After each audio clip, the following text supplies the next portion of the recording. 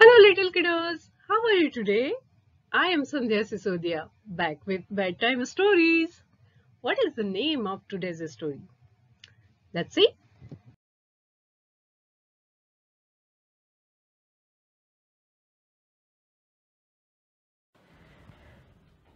The King of Birds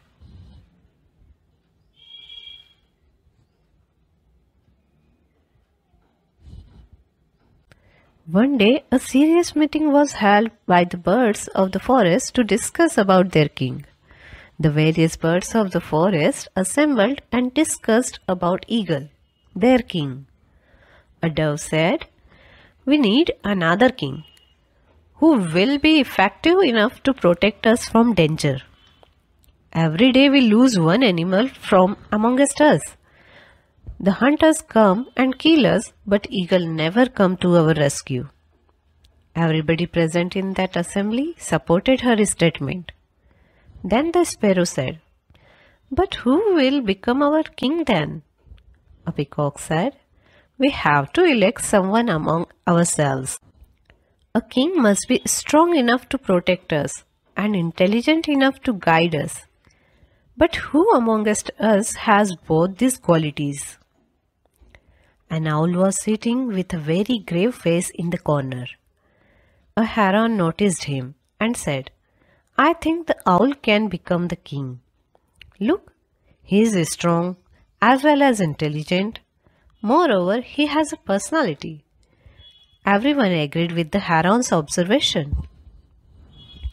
But a crow, who don't like the owl, took an objection and said in a sarcastic tone, The owl, a king. Have you lost your mind? Can't you see the owl is full of defects and he is not fit to be the king? First of all, he is so ugly. Secondly, he cannot see during the day. If he cannot see during the day, then how can he protect us from any problem that might arise during the day? I think we should think over it. Then why don't you suggest someone else's name? said Heron. Then Crow said Garuda. He is the one who is big, mighty, as well as intelligent enough to protect us. All the birds agreed with him and start celebrating. From that day on, Garuda is the king of birds.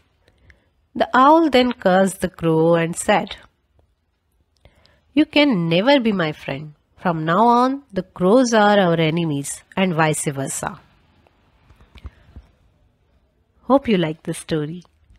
But what is the moral of the story? The moral of the story is if you don't like someone, if you are not agree with anyone, don't be harsh. Keep your points politely in front of others. Because being harsh may affect you inversely in future. I will be back with a new story. Until then, bye bye. If you love the story, like, share and subscribe.